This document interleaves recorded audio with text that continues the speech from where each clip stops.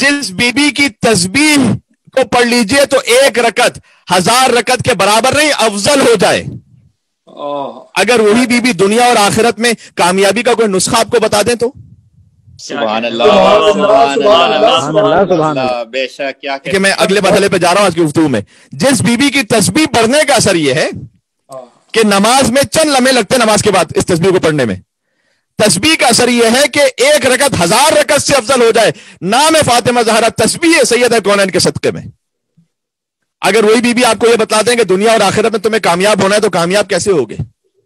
تو کتنا قیمتی نسخہ ہوگا؟ بے شک بے شک بی بی سے روایت ہے امالی شیخ توسی میں جا کے دیکھ لیجیے گا کہ بی بی نے فرمایا کہ ان سعید کل سعید حق سعید یقیناً کامیاب ہے مکمل کامیاب ہے اور حقیقی کامیاب ہے۔ من احب علی فی حیات و بعد مماتے سبحان اللہ کیا کہنے محبت رکھے ان کی زندگی میں اور مرنے کے بعد۔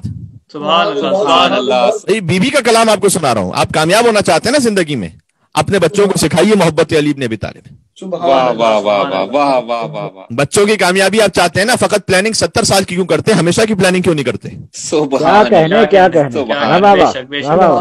ستر سال کی پلاننگ میں اس کی ڈگری ہے پروفیشنل لائف ہے اس کے لیے گھر ہے آگے مارگیج ہے لون ہے۔ ہمیشہ کی زندگی میں ساتھ میں اس میں جو کچھ ہے وہ محبت علی ابن ابی طالب کے ساتھ ہے۔ یہ جوڑ دیجیے ان سعید کل سعید حق سعید۔ یہ تین دفعہ کہنے کی کیا ضرورت تھی؟ یقیناً کامیاب اور مکمل کامیاب اور بے شک کامیاب۔ کیا کہنے سبحان واہ اللہ۔ واہ۔ واہ من احب علی فی حیات ہی و بعد موتے کہ جو علی ابن ابی طالب سے محبت رکھے ان کی زندگی میں اور مرنے کے بعد اور پھر آگے بھی کہا یہ ہمارا موضوع جو ہے وہ نور کا اتباع بھی ساتھ میں ظلمات سے برات بھی تو ہے۔ بے شک۔ شقی کل شقی حق الشقی۔ یقیناً بدبخت ہے۔